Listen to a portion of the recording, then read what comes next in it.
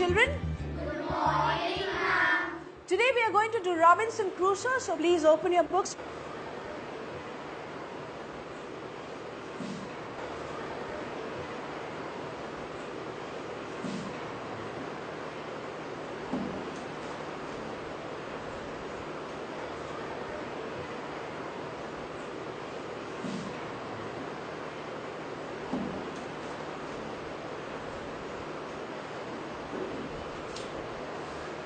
Do you know what the word shipwreck means?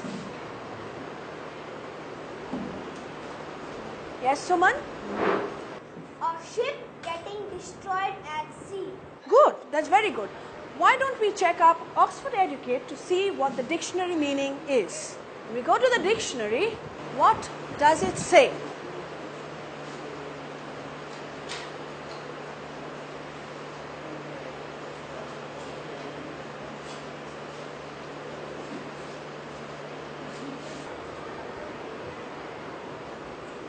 A ship that has been lost or destroyed at sea.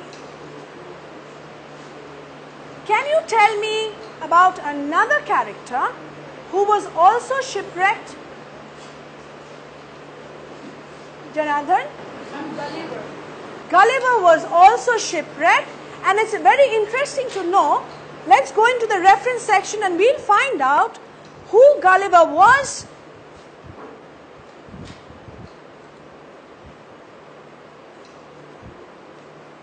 And here we have it Gulliver's Travels, written by Jonathan Swift.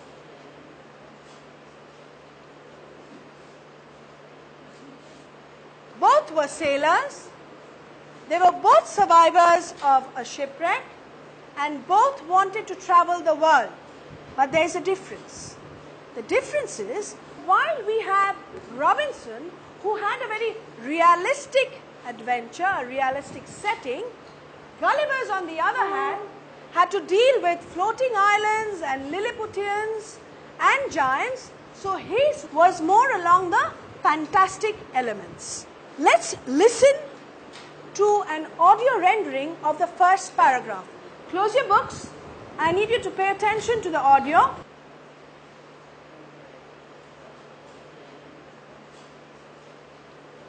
Unit 3 Robinson Crusoe We started off on our voyage in good weather, although it was very hot.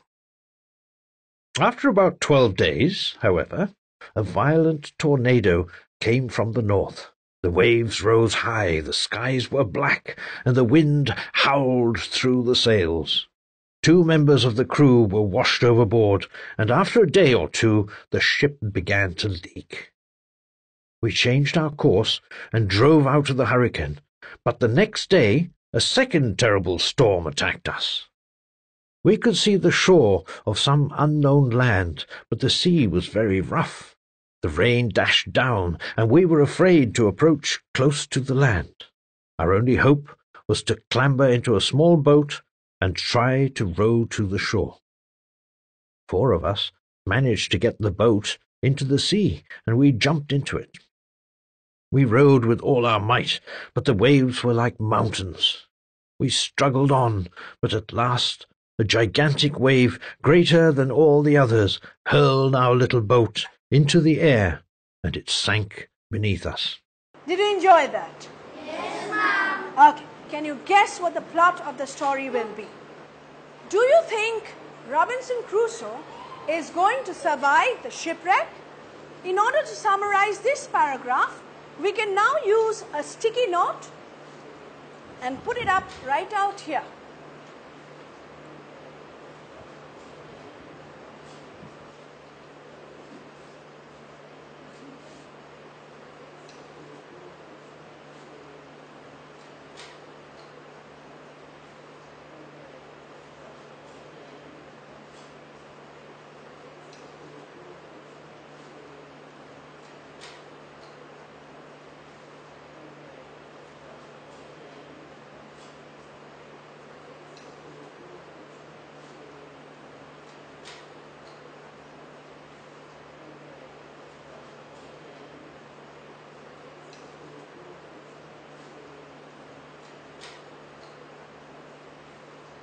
This is called a topic paragraph. A topic paragraph is the paragraph that prepares and orients the reader about what the story is going to be about. It describes the voyage of Robinson Crusoe and his companions, the one that they have set out for. They have survived the first tornado, but the second one has sunk their ship. Now let's listen to the pronunciation of the difficult words in this passage. We hear the pronunciation and repeat after it. You have the list out here. First word, Voyage. that is? Voyage. Good. Next one, Violent. next. Tornado. Tornado. Very good.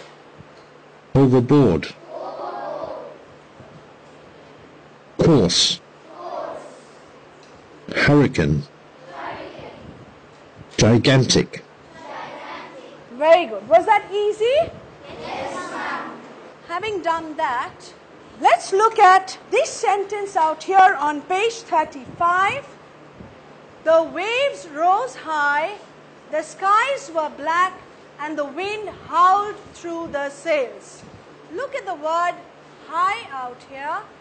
What does high describe? Janardhan? The word high describes rose. rose. So the waves rose. Rose out here becomes a verb. How high did the waves rise? An adverb. That's right. So high is an adverb. Do you remember the comparative and superlative forms of adverbs? Yes, Right? Turn to page 40 out there and we have a short exercise on adverbs. Let's go through that one.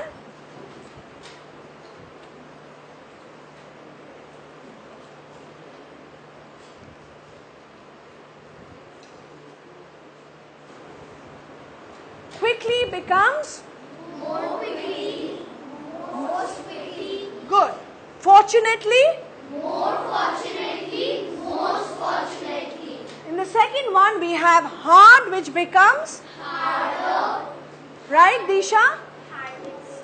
Harder and hardest. Next one is high. Vedant. Higher. High becomes higher and Highest. highest. Let's do an interactive exercise. Abhinav, can you please help us out with this one? We have hard, which becomes Harder. harder. Harder, harder turns to Hardest. right. Next one, badly Worst. to Worst. worst. Fast, Faster. Fastest. carefully. More carefully. Most carefully. That was fun and it was easy, right? We now know the comparative form and the superlative forms of the adverbs given. With that, we come to the end of today's lesson. We stop here, we continue tomorrow morning, and of course, we are going to use the Oxford Educate to make our lessons interesting and Fun. fun.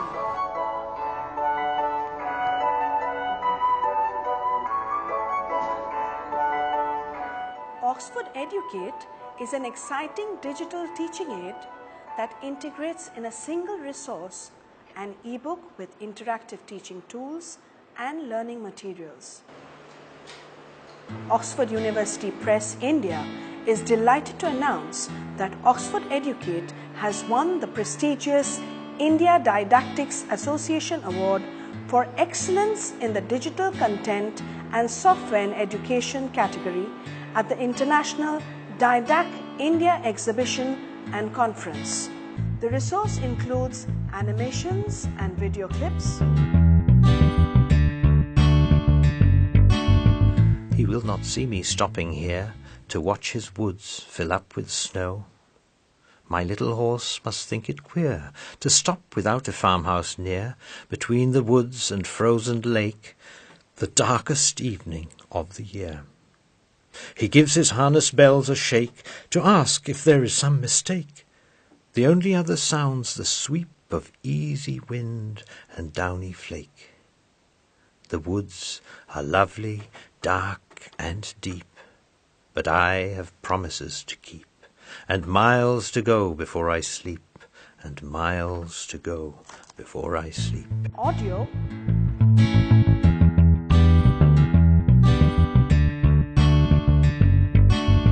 How large unto the tiny fly must little things appear!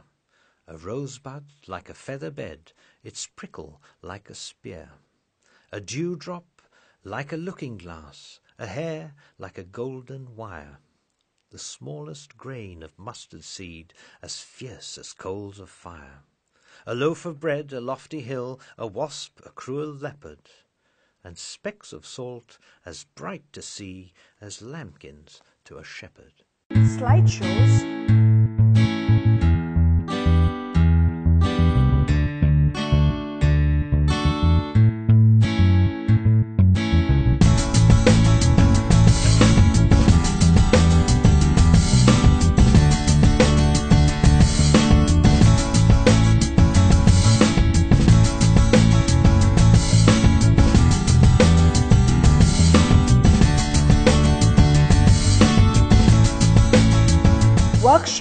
as printable documents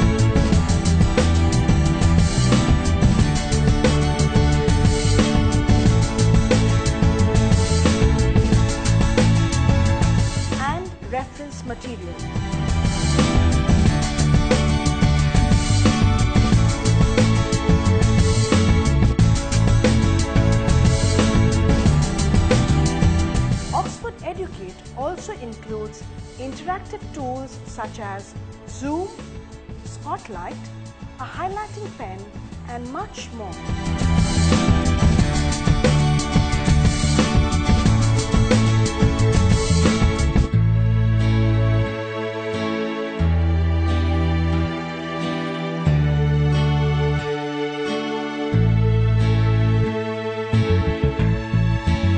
Content linked to each page for easy accessibility.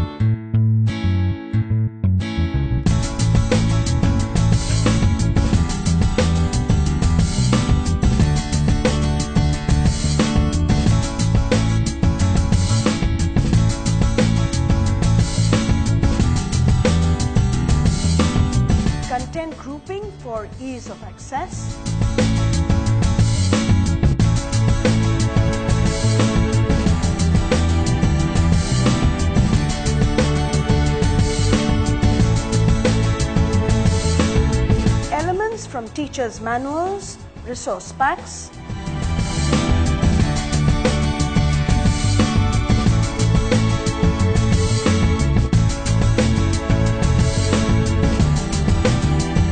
all interactivities and features found in any ebook.